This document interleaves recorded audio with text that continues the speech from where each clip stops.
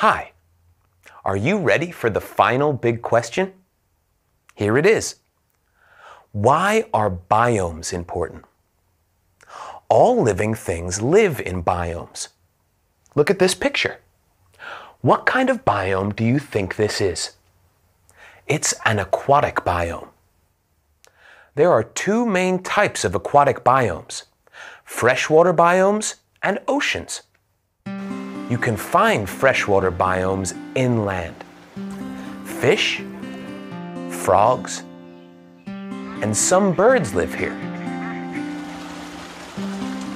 Rivers, streams, ponds, and lakes are all freshwater. This means that the water here has less than 1% salt. Only 3% of the Earth's water is freshwater. Most of the Earth's water is salt water. You find salt water in the ocean. The ocean is another type of biome that covers 75% of the Earth. There are lots of different kinds of plants and animals here. One of the most famous ocean biomes in the world is the Great Barrier Reef off the coast of Australia. You can find all kinds of fascinating sea life here. There are also many different types of biomes on land. This is a tropical rainforest. It's a very important biome because half of all the animal and plant species on Earth live here. These include monkeys and tropical snakes. This is a temperate forest. Many plants and animals make temperate forests their home, including leopards, rhinoceroses, and deer.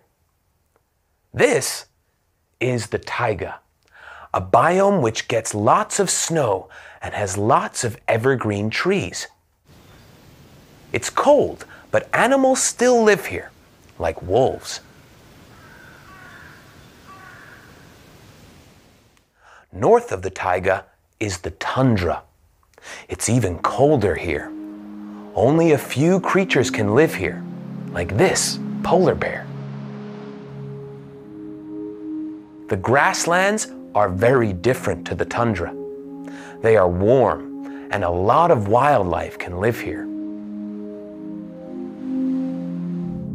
Finally, there's the desert. It's very dry, so very few plants and animals can live here. However, you can find some interesting plants and animals in the desert, like these birds.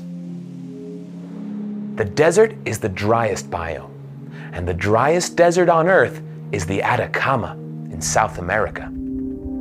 Very little rain falls here, but surprisingly, there is some water. There are a few lagoons and some rivers such as the San Pedro.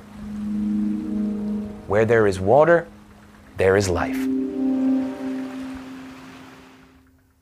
Biomes are fascinating, and they all support some kind of life. That's why it's very important we look after them. What kind of biome do you live in?